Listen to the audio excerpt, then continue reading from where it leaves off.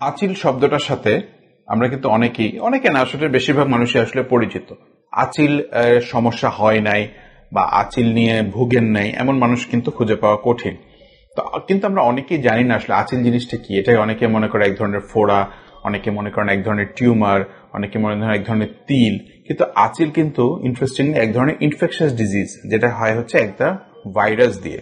যে ভাইরাসটাকে আমরা বলি হিউম্যান প্যাপিলোমা ভাইরাস বা এইচপিভি সুতরাং যেহেতু এটা ভাইরাস দিয়ে হচ্ছে, এটা কিন্তু খুব বেশি কন্টাজিয়াস কিংবা ছোঁয়াছে একজনের থেকে একজনের হওয়ার সম্ভাবনাটা খুব বেশি। হুম হাইলি কন্টাজিয়াস তো এই আচিল যে ভাইরাসটা দিয়ে হচ্ছে হিউম্যান প্যাপিলোমা ভাইরাস এটার কিন্তু অনেকগুলো প্রকারভেদ বা স্ট্রেইন রয়েছে। নাম্বার অনুযায়ী আমরা নাম্বারিং করি, যেমন এক থেকে চার, এগারো থেকে চোদ্দ, উনচল্লিশ থেকে তেতাল্লিশ, এরকম বিভিন্ন ধরনের স্ট্রেইন রয়েছে। তো এক একটা স্ট্রেইন এক এক জায়গায় আচিল তৈরি করে। কোনোটা মুখে করছে কোনোটা গোপনাঙ্গে করছে কোনোটা পিঠে করছে কোনোটা হাতে করছে এরকম। তো আচিলের চিকিৎসার চেয়ে আমি বলব যে আচিলের অপচিকিৎসাই আমাদের বেশি প্রচলিত। আচিলের জন্য কেউ কাটাকাটি করছে কিংবা আচিলের জন্য দেখা যাচ্ছে হোমিওপ্যাথিক ওষুধ খাচ্ছে আচিলের জন্য স্যালিসাইলিক অ্যাসিড নামক এক ধরনের অ্যাসিড দিচ্ছে যাতে আচিলটা গলে পড়ে যায়।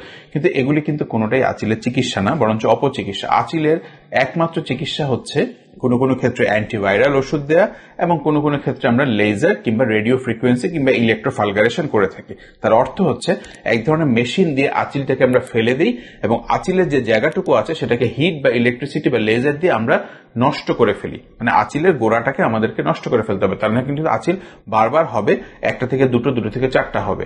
তো সুতরাং আচিল দেখা মাত্রই আমরা চিকিৎসকের শরণাপন্ন হবে এবং আচিলে কিন্তু আমরা কিন্তু পেশেন্টের অনেক সময় আচিল ডায়াগনোসিস করে ফেলি, যেটা আচিল। আচিলে দেখা যাচ্ছে যে অনেক সময় একটু ইচিং বা চুলকোনো থাকে, কিংবা অনেক সময় দীর্ঘদিন হয়ে গেলে এখান থেকে একটু ব্লিডিং হয়, কিংবা কিছু রস নিঃসরণ হয়। তো আচিল যখন একটা বা দুটো থাকবে, কিংবা যখন ছোট সাইজের থাকবে, তখনই যদি আমরা ত্বক বিশেষজ্ঞ বা ডার্মাটোলজিস্টের কাছে যাই, তাহলে কিন্তু চিকিৎসাটা অনেকাংশে সহজ হয়ে পড়ে।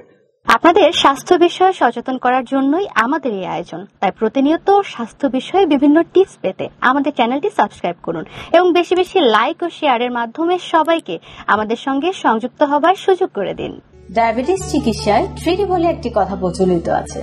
এই থ্রিডি কি? এই থ্রিডি হচ্ছে ডিসিপ্লিন ড্রাগ এবং ডায়েট আপনি ডিসিপ্লিন লাইফ লিড করছেন ড্রাগসও খাচ্ছেন। কিন্তু ডায়েট সেটি কেমন হবে? এই বিষয়ে সঠিক পরামর্শ দিতে পারবেন একজন পুষ্টিবিদ। তাই এই বিষয়ে সমন্বিত সেবা দিতে রয়েছে আমরা।